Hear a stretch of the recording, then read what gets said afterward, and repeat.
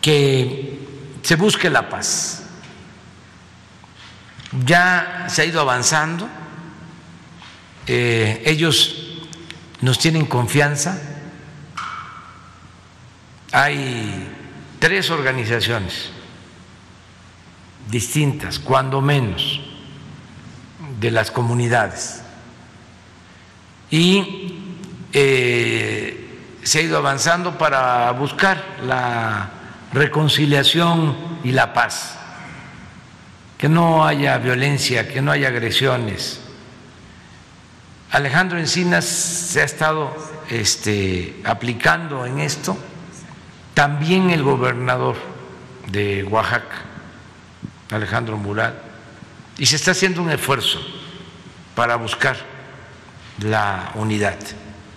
Si todos ayudamos, y de manera especial los dirigentes de estas tres organizaciones, sería muy importante el que podamos suscribir un acuerdo de paz.